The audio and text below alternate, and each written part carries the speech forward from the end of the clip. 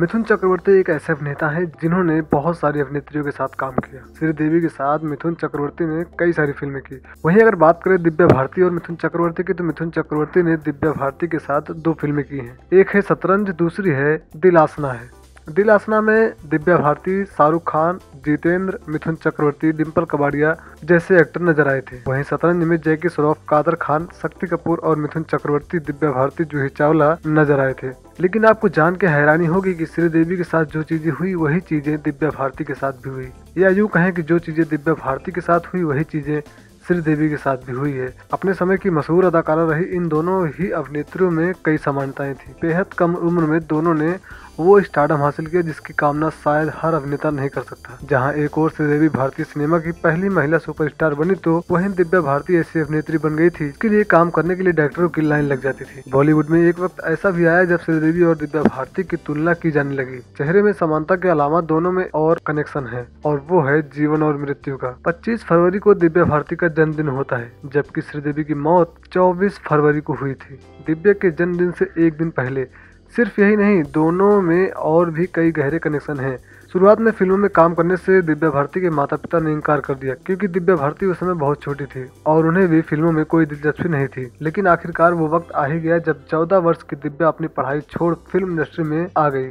नब्बे के दशक की सुपरहिट फ़िल्म लाडला में श्रीदेवी ने दिव्या भारती को रिप्लेस किया था, जबकि फ़िल्म का काफ़ी हिस्सा दिव्या भारती ने शूट किया था। लेकिन अचानक जब दिव्या भारती की मौत हो गई तो श्रीदेवी को इस फ़िल्म में साइन किया गया, जिसके बाद फ़िल्म की शूटिंग पूरी की गई। फ़िल्म लाडला के लिए श्रीदेवी उसी जगह सीन शूट कर रही थी, जहाँ दिव्या भारती ने शूटिंग की थी। इसी सीन में उनके साथ रवीना टंडन और शक्ति कपूर भी थे। यहाँ एक हादसा ऐसा हुआ, जिसे देख सभी हैरान हो गए। दरअसल श्रीदेवी एक बार उसी जगह अटक जाती, जहाँ दिव्या भारती सीन शूट करते वक्त अटक जाती थी। सेट पर से देख वहाँ मौजूद क्रू के साथ रवीना टंडन और शक्ति कपूर भी डर गए। ये बात दिव्या भारती की मौत के छह महीने बाद की थी।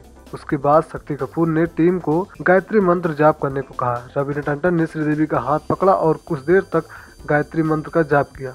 फिर जाकर इस फ़िल्म की शूटिंग पूरी हुई। इन दोनों की मौत भी एक रहस्यमय तरीके से हुई है। यूँ तो कानूनी नजरियों से देखे तो श्रीदेवी की मौत एक हादसा बताई जाती है। दुबई पुलिस इस केस को बंद भी कर चुकी है। लेकिन सवाल खड़े करने वाले तमाम तरह की दलीलें दे रहे हैं। कुछ लोगों का कहना है कि जब श्रीदेवी शराब पीती ही नहीं थी तो उनके शरीर में एल्कोहल आया कैसे? यहाँ तक कहा जा रहा है की श्रीदेवी अड़तालीस घंटे तक होटल से बाहर क्यों नहीं निकली थी? युवाओं के दिल की धड़कन बन चुकी दिव्या भारती की मौत भी ठीक इसी तरह हुई। इस हादसे ने देश को झजोर कर रख दिया था। उनकी मौत उनके घर पर ही हुई थी, जिसे हादसा बताया गया। जाँच में सामने आया कि वह शराब के नशे में थी, जिसकी वजह से वे अपने घर की बालकनी से फिसल कर नीचे गिर गई। उस वक्त उनके फ़ैन ने भी इस हादसे को मानने से इनकार कर दिया था। यहाँ तक कि उनके पति साजिद नाडियाड वाला इस केस में शक के घेरे में आए थे, लेकिन बाद में पुलिस ने इस केस को बंद कर दिया।